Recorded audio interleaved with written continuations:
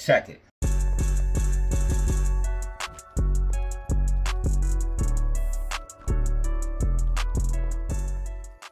Alright guys, you are back for another video with Data Zero. In this video, we're looking at AMC, GME, and SPY. This is your weekly update and prediction where we look at the bigger time frames and give you guys perspective and peace of mind looking at the macro. And then we also look at the smaller time frames as well as we can make decisions as traders to build our bags for the future. This video is not financial advice and should not be taken as such. Please do your own research and due diligence before buying any stock or crypto asset. We're going to be looking at AMC, GME, and SPY in this video. And let's not waste any more time and give you guys the weekly outlook and prediction.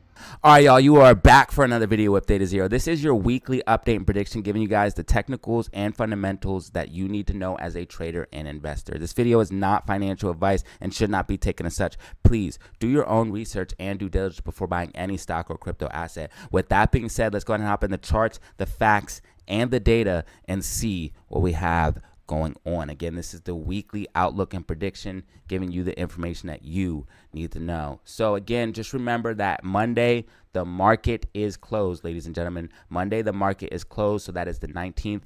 The market is closed. As far as the trading week, we will see trading through the week of the days of the 20th until uh, the 23rd. So Tuesday the 20th until Friday the 23rd. As far as news that you could see possibly, so as far as what we could see, as far as big impact news is FOMC. I will be live during FOMC, so you guys can tune in to see that live, to see the technicals. It's going to be extremely volatile. As far as FOMC as projections and what I think is going to be happening, honestly, I think the Fed is going to be a little bit hawkish, which is going to be bearish for the market. I think we're actually going to see a little bit of volatility during FOMC. Normally see some swings to the upside, swings to the downside, but I think the market is anticipating the Fed being a little bit more hawkish because of those inflation numbers that came out last time we got CPI. They were not very impressive and the market was not impressed by them, but I think the Fed will be even more or less impressed by them and have a little bit of hawkish term tone during this FOMC, which will be in turn bearish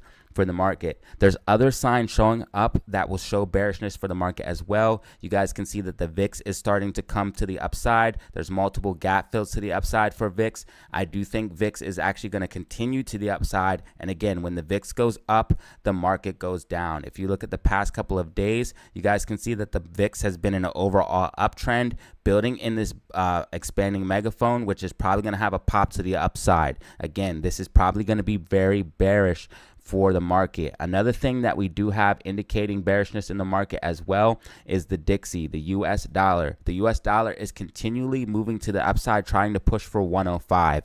When the dollar goes up, the market goes down. Again, the dollar moves inverse of assets. So you normally when you see the dollar start to move to the upside like this, that shows bearishness in the market. And I do think we are going to see correction. If you want to see a bull market for SPY, normally the dollar has to be under 99.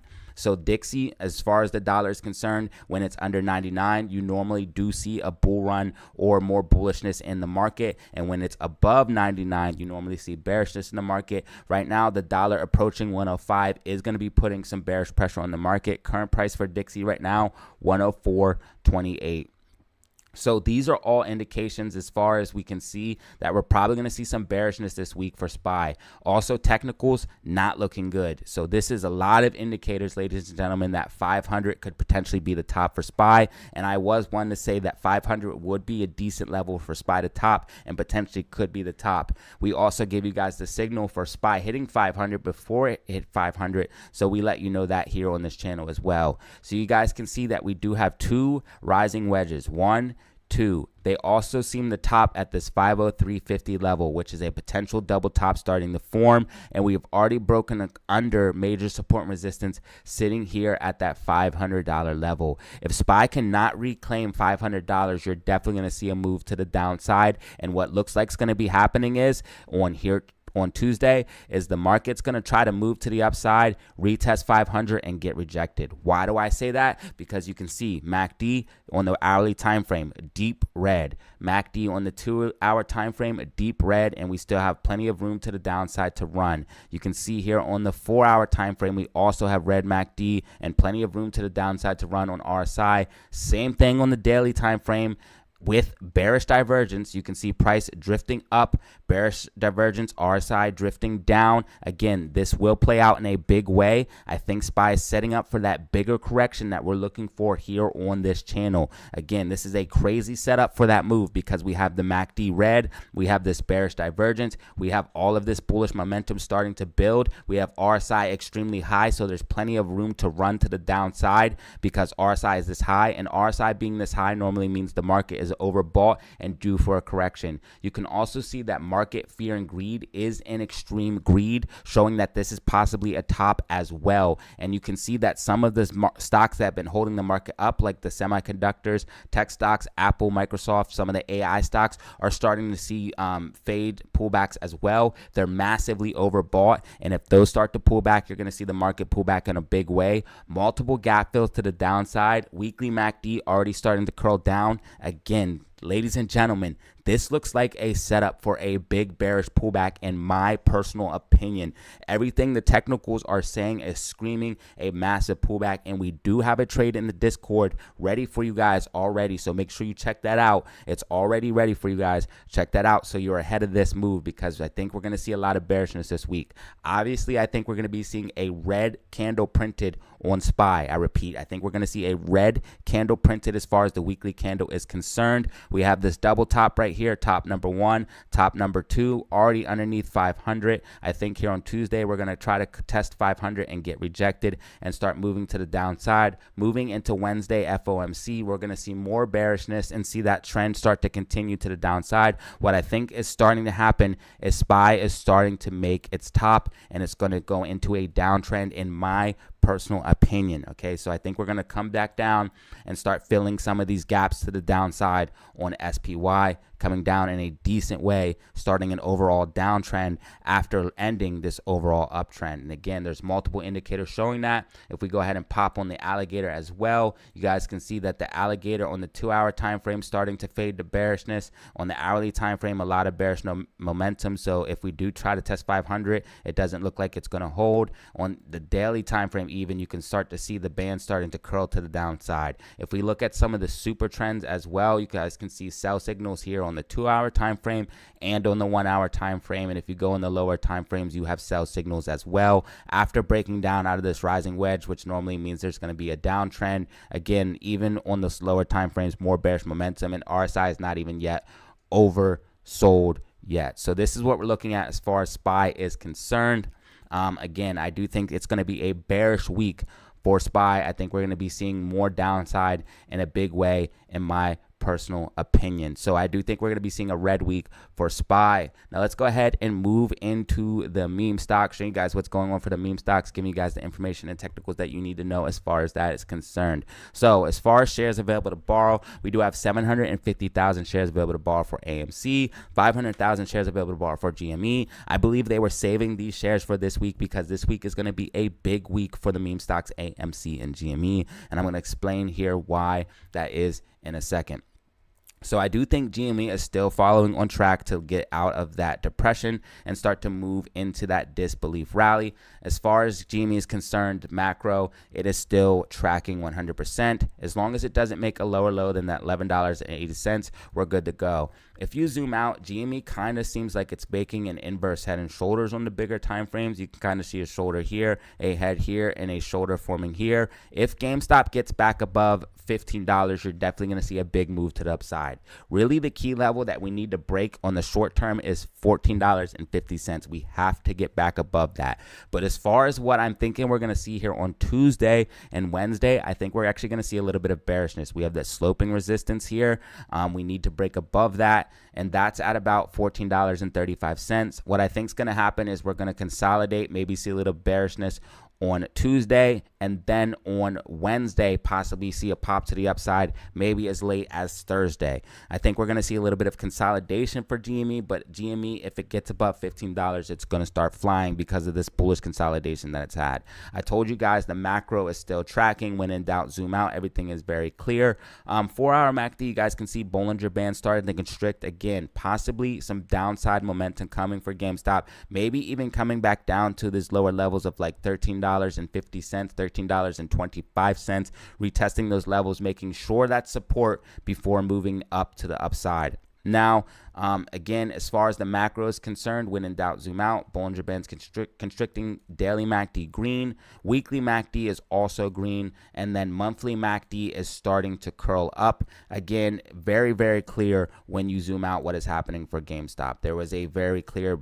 uh, euphoria style rally, which dropped into a bear market once that MACD turned green and we dropped out of that complacency stage. And then we're going to start moving back to the upside after we leave that depression stage. Again, um, here is what I'm referring to when I talk about that stuff. Here was that anger double bottom, V-shaped style recovery that drops into a higher low that goes into your depression, out of your depression stage. And that's what's happening here for GameStop. You have your V-shaped style recovery here. This is your V-shaped style recovery. Let me go to your weekly time frame. It's a little bit more easy to see here on the weekly time frame.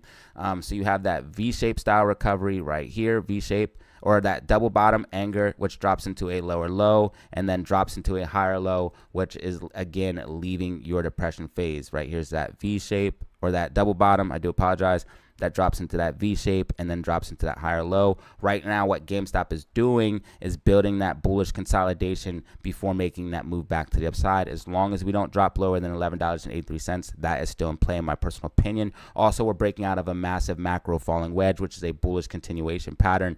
Basically, you'll see um, that uptrend that GameStop has experienced the uptrend right here. Then you go into your bullish consolidation, which breaks into another uptrend. And then, of course, like I said, monthly MACD starting to curl up, showing that very, very clearly. Uptrend, falling wedge, which leads into an uptrend. Same way Bitcoin has done it is the same way GameStop is going to do it in my personal opinion. Uptrend, falling wedge, uptrend. So that's what I'm looking at for GME stock. I do have higher price targets for GME in the future, up to these $37 and $39 gap fills, and possibly as high as $73 for GME stock, as I do think it's going to break out of this falling wedge and move back to the upside, in my personal opinion. Um, as far as the weekly candle is concerned, I think GameStop is going to print a green week, a green week for GME stock. Um, I do think we'll be able to pull off a green week for GME stock. Now let's go ahead and move into AMC and show you guys what's going on for AMC and finish up with the weekly update and prediction and give you guys the technicals that you need to know. So as you guys can see, AMC, um, I think we're going to see a little bit of consolidation here on Tuesday. So I think we're going to have to retest some of these lower levels here on Tuesday. AMC is in a very, very precarious situation because if we get above $5, you're going to see more upside. Okay. There's not a doubt about it. That's why I have it marked in gold. If we get above $5, it can hold that level of support. You're going to see more upside. There's going to be a ton of calls at $5. I don't have the gamma um, right here because we don't have that information, but there's going to be a ton of calls at $5, which could give us a significant push to the upside. And that $5 level is also a huge psychological level as well. So if we get above $5 and hold that level, you're going to see a continuation to the upside. That is why they used or have all these shares for this week because this is a major week for AMC stock. They do not want it above that $5 level. They want to push it closer towards $4.50. So this is what we're looking at for AMC. As far as uh, Tuesday is concerned, I think we will consolidate then come back down, retesting about $4.75, and then get a push back to the upside. We do have multiple gap those back to the upside for AMC.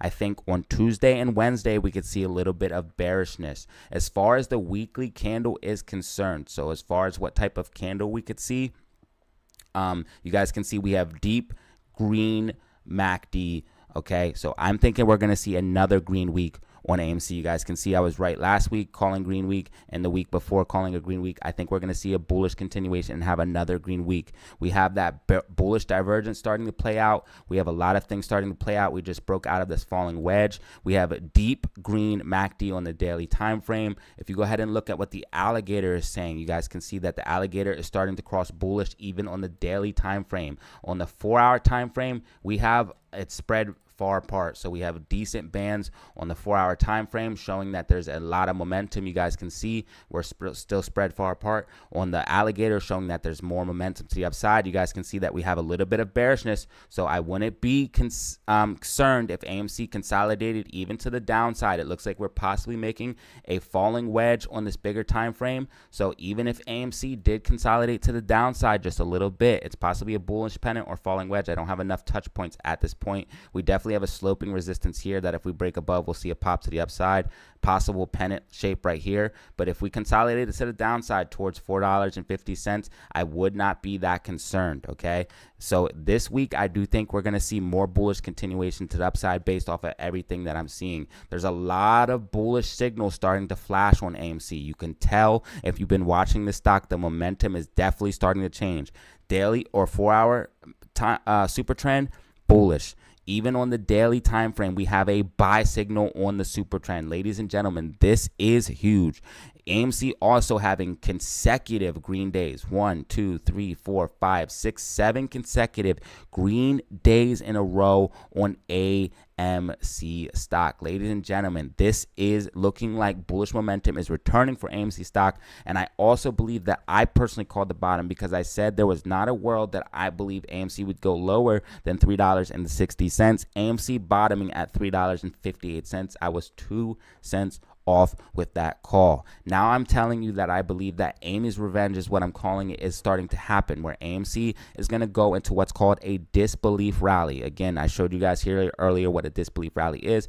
It's when AMC starts to go up but people will not believe it goes up because they've been conditioned to think it's only going to go down because of it was in a bear market. This is how bear markets end. We did what we needed to do on AMC. We started to build a bullish base. I was talking about it as it was happening. We started to consolidate. We dropped down into this spring right here, hitting that low. And now I think we're going to start seeing an overall uptrend for AMC stock. Yes, there will be pullbacks in that uptrend, just the same way Bitcoin had pullbacks in its uptrend. There will be pullbacks in the uptrend. That's going to be a healthy pullback. But overall, I think AMC is going to start going into an uptrend. And if you look at some of these price targets that we have for AMC, we have much higher price targets because if we go ahead and pop on some of the things like the moving averages and then go on these bigger time frames, and these time frames, moving averages will be tested. You guys can see that the 50 moving average is up here at $24. The 200 moving average is way up here at $71. We also have massive gap fills right here on AMC stock all the way up to 37 to 43 dollars. If you look at some of the gains on some of this stuff right now, if you bought at these lower prices, right here, if we just retest the 50 moving average, that's a 469% gain. If we fill the gap, which will get filled, that's a 900% gain. And if you go all the way to the 200 moving average, which I do think will get retested, it will move around sometimes uh, as time goes on. But right now, time of recording, it's over a 1,600% gain on AMC stock, whether you Believe it or not, yes, that is what the technicals are showing you. And I live and breathe by the technicals because they have done me very, very well throughout my career. Again, weekly MACD looking very, very green. And then, of course, when in doubt, zoom out. If you look at the monthly, it's very, very clear that the monthly is curling up as well. AMC about to go in its disbelief rally, the early stages of leaving its bear market, which will then lead into an overall hope, optimism, belief, thrill, euphoria type style bull run for AMC stock. Yes. And this one could be very, very, very epic. And the shorts know it. Everyone knows it. It is time. You guys can see that the cycle has played out. We have had our euphoria. Then we went into our deep bear market, into our depression. And now we are starting to change characteristics and leave that phase. Ladies and gentlemen, this is the video I have for you. If you found this video informative, go ahead and drop a like. Press subscribe for more content like this. And remember, you can check me out on Twitter and Discord for even more Data Zero updates. Again, everything I say is based off the charts, the facts, and the data. Please do your own research and technical analysis before you make any financial decisions. Just a quick other few bonus updates, real quick, just showing that AMC is showing multiple golden crosses. That's when the 50 moving average crosses over over the 200 moving average, 50 marked in gold, 200 marked in white. You can see that here on the one hour time frame. You can see that here on the two hour time frame. And you can see that here almost starting to happen on the four hour time frame, showing a lot of bullishness. You can also see that we're above the 200 moving average here on the four hour time frame, showing a lot of bullishness as well. AMC showing huge signs of bullishness from the super trend buy signals to the golden crosses to the breakout of the falling wedge all of these things are indicating more continuation to the upside and a green week for AMC stock. So it was a red week for SPY, a green week for AMC, and a green week for GME. And some people have said, why do you say that happens? Listen, it's happened before where SPY has been red and AMC has been green and GME has been green. So obviously, I'm giving the predictions I'm giving for a reason. Ladies and gentlemen, that is the video. If you found it informative, go ahead and drop a like. Press subscribe for more content like this. Remember, you can check me out on Twitter and Discord for even more data Zero updates. And as always, y'all, have fun, stay safe, make money. Peace out. All right, y'all, that was the video. If you found it informative, go ahead and drop a like. Press subscribe for more content like this. You can check me out on Twitter and Discord for even more Data Zero updates. The Discord is $50 for a lifetime invite. Go ahead and hit me up on my email, Instagram, or Twitter. Those are linked down below in the description. Just say, hey, I want to join the Discord, and I will get back to you. I prefer if you hit me up on email, but I know some people don't always have an email. If you found the video informative, please drop a like and leave a comment to help the video grow. And as always, y'all, have fun, stay safe, make money. Peace out.